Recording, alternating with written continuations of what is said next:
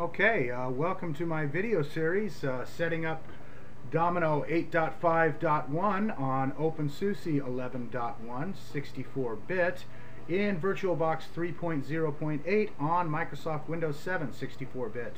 Welcome to part 8.5.1, the Domino setup, and I am your host, Devin Olson.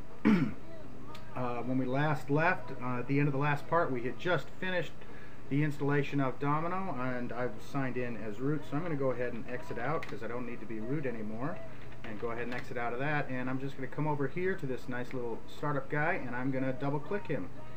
And uh, it's asking me for the password. This password that it's asking me is for my notes user password so I'm going to go ahead and put that in.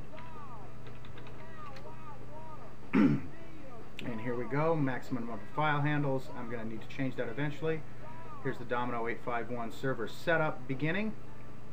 Alright, nice fun dialog. We're about to set up our new uh, Domino server. Uh, to change fonts or language setting, I, settings, I could click fonts, whatever. I'm going to just uh, continue and take all the defaults. So let me hit next. Could set it up as a first server or a standalone server. I'm going to set it up as an additional server and if you recall when I uh, got this started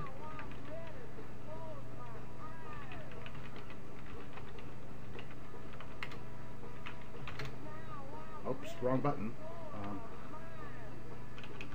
uh, you'll you'll recall I brought in some certifier IDs and some um, and uh, server ID, so they should be sitting in here right now. Uh, there's my certifier ID, and there's my I'm PQRS.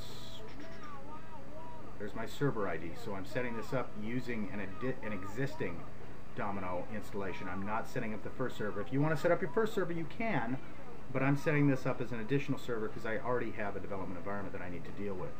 So I'm going to go ahead and hit next. Server ID is stored on a floppy disk CD network drive. And look, it's already there. That's the server ID.